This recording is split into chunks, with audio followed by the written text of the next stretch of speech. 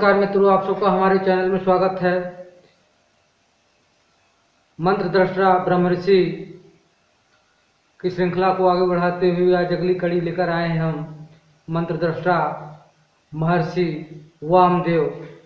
महर्षि वामदेव ऋग्वेद के चौथे मंडल के मंत्र दृष्टा ऋषि हैं। चौथे मंडल में कुल सूक्त अट्ठावन हैं, जिनके महर्षि द्वारा अग्नि, इंद्र, वरुण, सोम ऋभु दधिकाक्ष विश्वदेव तथा उषा देवताओं की स्तुतियाँ की गई उन स्तुतियों में लोक कल्याण की उदात्त भावना निहित है। महर्षि वामदेव ब्रह्मज्ञानी तथा जात स्मर महात्मा रहे। वायु पुराण में आया है कि अपने ज्ञान से ऋषित्व प्राप्त किया, ज्ञान तो ऋषिताम गतः वायु पुराण उनसठ इक्यानवे, ऋग्वेद में ऋषि ने स्वयं अपना परिचय दिया है, तदनुसार स्पष्ट होता है कि इन्हें गर्भ में ही आत्मज्ञान और ब्रह्म विद्या का साक्षात्कार हो गया था। ऋग्वेद के निम्न ऋचा का उन्हें माता के गर्भ में ही दर्शन हो गया था, इसलिए उन्होंने माता के उदर में ही कहा था। गर्भेनु सनन्ने निवेशाम वेदमहं देवानां जनिमानि विश्वा शतं मा पुरयायशीररक्षन्ननध सेनो जोषानिर्धीयम ऋग्वेद, मंडल चार, सुक्त सत्ताईस, मंत्र एक। ऋचा का भाव यह है कि, अहो, कितने आश्चर्य और आनंद की बात है कि गर्भ में रहते रहते ही मैंने इन अंतःकरण और इंद्रिय रूप देवताओं के अनेक जन्मों का रहस्य भली भांति जान लिया है। अर्थात मैं इस बात को जान गया कि ये जन्म आदि वास्तव में इन अंतकरण और इंद्रियों के ही होते हैं, आत्मा के नहीं। इस रहस्य को समझने से पहले मुझे सैकड़ों लोहे के समान कठोर शरीर रूपी पिजरों में अवरुद्ध कर रखा था। उनमें मेरी ऐसी दृढ़ अहंता हो गई कि उससे छूटना मेरे लिए कठिन हो रहा था। जैसा कि ऐतरीय उपनिषद में अध्याय दो, खंड एक पाँच छ में, जन्म मृत्यु के रहस्य क्रम से, परमात्मा की प्राप्ति के क्रम से, इसी वामदेव ऋचाओं को, वामदेव की ऋचाओं को उद्घृत किया गया है। अब मैं बाज पक्षी की भांत, ज्ञान रूप, बल के वेग से, उन सबको तोड़कर उनसे अलग हो गया हूँ। उन शरीर रूप पिंजरों से मेरा कोई संबंध नहीं रहा। मैं सदा के लिए उन शरीर की अहंता से मुक्त हो गया हूँ। इस ऋचा में गर्भ स्थित वामदेव ने यह उपदेश दिया है कि देह आदि में आत्मबुद्धि नहीं करनी चाहिए, क्योंकि देहात्मवाद ही अविद्याजन बंधन है और उस बंधन का नाश ही मोक्ष है। जैसे पक्षी घोंसले से भिन्न है, वैसे ही यह आत्म तत्व भी शरीर से सर्वथा व्यक्तिरेक व्यतिरिक्त है, अलग है। इस प्रकार गर्भ ज्ञान महात्मा वामदेव ऋषि को गर्भ में ही मोह नहीं हुआ। उन्होंने विचार किया कि मेरा आविर्भाव भी सामान्य न होकर कुछ विशिष्ट ढंग से ही होना चाहिए। उन्होंने सोचा कि माता की योनि से तो सभी जन्म लेते हैं और इसमें अत्यंत कष्ट भी, अतः मैं माता के पार्श्व भाग का भेदन करके बाहर निकलूँगा। नाहम तो निर्याम दुर्गहते रचताम पार्श्वानग्निर्मा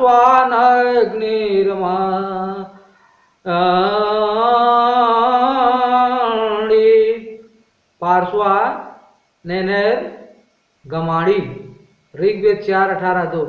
इंद्रादि देवों ने जब गर्भ स्थिति वामदेव को ऐसा कार्य करने से रोका तो उन्होंने अपने समस्त ज्ञान और अनुभव का परिचय देते हुए उनसे कहा, हे इंद्र, मैं जानता हूँ कि मैं ही प्रजापति मनु हूँ, मैं ही सबको प्रेरणा देने वाला सविता हूँ, मैं ही दीर्घ तमाम मेधावी कक्षिवान नामक ऋषि हूँ, मैं ही अर्जुनी का पुत्र कुत्स नामक ऋषि हूँ और मैं ही क्रांतिदर्शी उष्णा ऋषि हूँ। तात्पर्य है कि परमार्थ दृष्टि से मैं ही सब कुछ हूँ। इसलिए मुझे आप सर्वात्मा के रूप में देखें। वामदेव की इस ऋचा को आप समझ सकते हैं। अहम मनोरभम सूर्यश्चा अहम कक्षिवाम ऋषिरश्मि विप्रः। अहम कुत्समार्जुने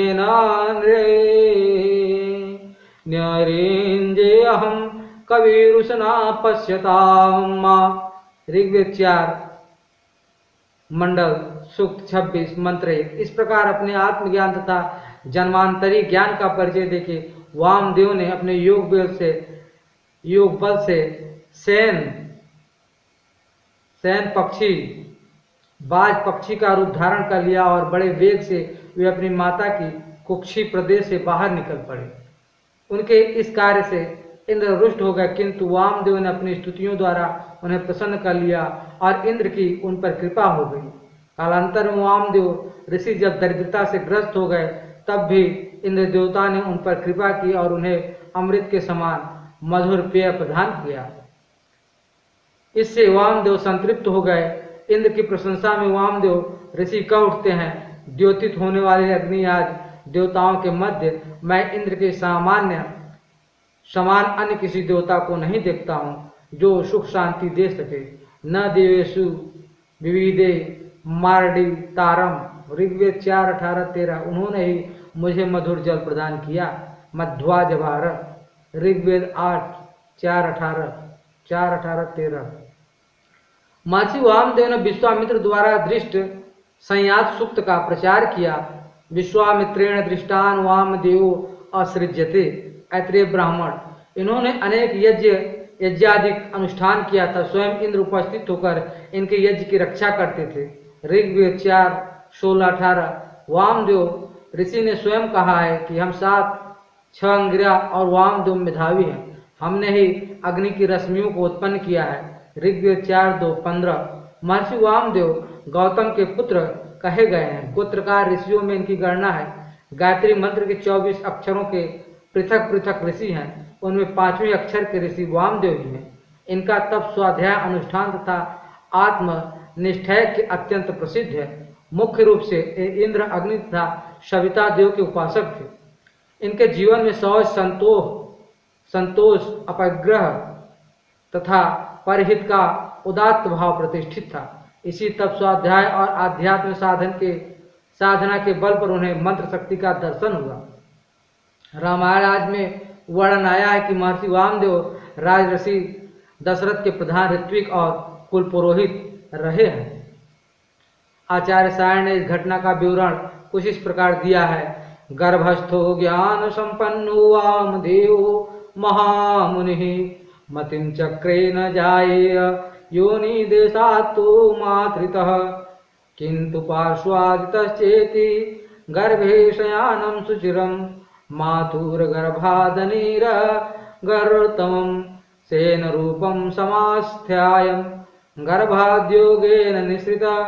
ऋषिर्गर्भे शयान सन् भूते गर्भेनु सने नीति ऋग्वेद चार अठारह के प्रारंभ में शाणाभाष्य ऋत्विजो द्वाभिमतो तस्यास्या ताम ऋषि तमो वशिष्ठो वामदेवस्य मंत्रिणस्य तथा पर वाल्मीकि रामायण एक सात चार वामदेव रघुकुल गुरज्ञानी, रामचरित मानस। वामदेव वशिष्ठ आ सचिव महाजन सकल बुलाए। मुनि बहु भाति भरत उपदेशे कहीं पर मारत वचन सुदेशे। रामचरित मानस इस प्रकार महर्षि वामदेव के मंत्र दृष्टा ऋषियों में विशेष महिमा है। महर्षि वामदेव और वामदेव मंडल, ऋग्वेद का चौथा मंडल महर्षि वामदेव के द्वारा दृष्ट है। इसलिए वामदेव मंडल और इनके द्वारा दृष्ट ऋचाए वामदेवी ऋचाए कहलाते हैं। चतुर्थ चतुर्थ मंडल के प्रारंभ में कई सूक्तों में अग्निदेव की महनी स्तुतियाँ हैं, जिनमें अग्निदेव के विभिन्न स्वरूपों तथा उनके कार्यों का विवरण है। इस मंडल में कई आख्यान भी आए हैं। सोलहवें सुक्त की ऋचाओं में राजर्षि कुत्स का आख्यान आया है। राजर्षि कुत्स का आख्यान रुरु नामक एक राजर्षि थे, उनके पुत्र थे। कुत्स एक बार राजर्षि, कुत्स जब शत्रुओं द्वारा संग्राम में पराजित हो गए, तब अशक्त रुरु ने शत्रुओं के विनाश के लिए देवराज इंद्र का आह्वान किया।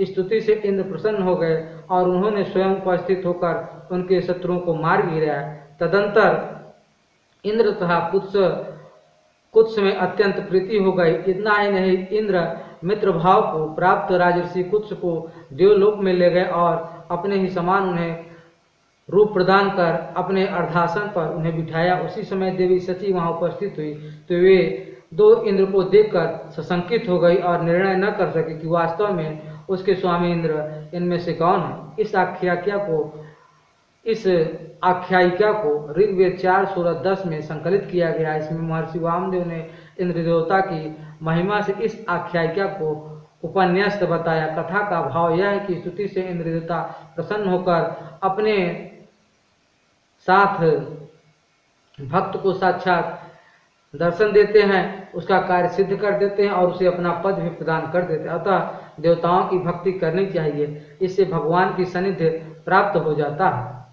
ऐसे में इस मंडल में पूर्व कुछ तथा उनके पुत्र राजर्षि त्रस दस्यु आदि के भी अनेक सुंदर प्रेरणापद आख्यान आए हैं। सौरी ऋचा चतुर्थ मंडल में एक मुख्य ऋचा मंत्र आए हैं, जो सौरी ऋचा कहलाती है। इस ऋचा के दृष्टा वामदेव ऋषि हैं और इसमें भगवान सूर्य की सर्वात्मा, सर्वव्यापकता, सर्वनियंता, सर्वाधार तथा परम ब्रह्म परमात्मा के रूप में निरूपित किए गए अतः इस ऋचा का सूर्य, आदित्य, सविता संबंधी वेद में सभी मंत्रों में विशेष महत्व है। ऋचा इस प्रकार से है।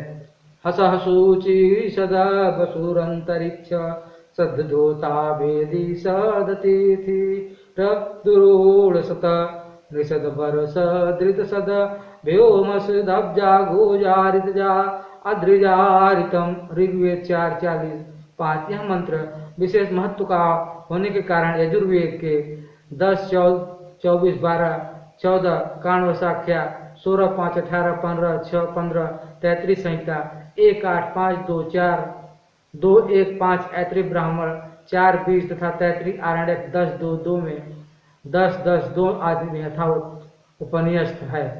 आशुलायन सौत्र सूत्र आदि निर्दिष्ट है कि यह सौर ऋषा मैत्रा, वरुण शस्त्रयाग में विनियुक्त है। ऋग्वेद विधान दो 240 में एक श्लोक इस प्रकार आया है।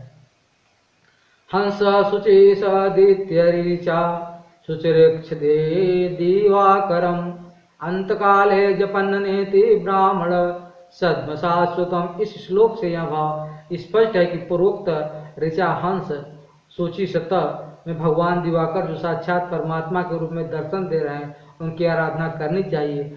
अंत समय में इस ऋचा का जप करने तथा आदित्य मंडल में जो हिरण्य पुरुष नारायण स्थित है, उनका ध्यान करने से परमात्मा तत्व की प्राप्ति हो जाती है और उनका शाश्वत परम धाम प्राप्त हो जाता है। उपर्युक्त ऋचा का भाव यह है कि आदित्य मंडलाधिष्ठात्री हिरण्यमय नारायण जो पुरुष है, वे ही परमात्मा है। वे सर्वव्यापक, वे द्विलोक में प्रतिष्ठित हैं। वे मध्य स्थानीय वायु देवता हैं।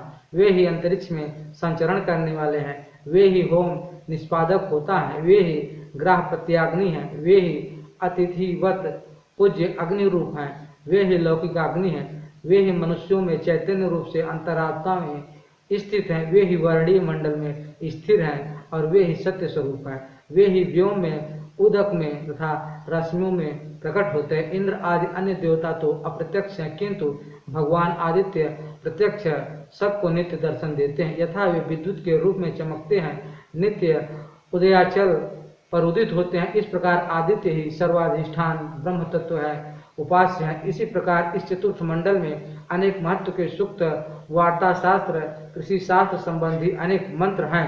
क्षेत्र के कर्षण संबंधी मंत्र हैं। हल्के फाल आदि की स्तुतियाँ हैं। आज की स्तुति जैसे चतुर्थ मंडल के सत्तानवे सूक्त में क्षेत्र से पति नाम सोना हुआ सोना न फाला फालाभिम कृषंत भूमि।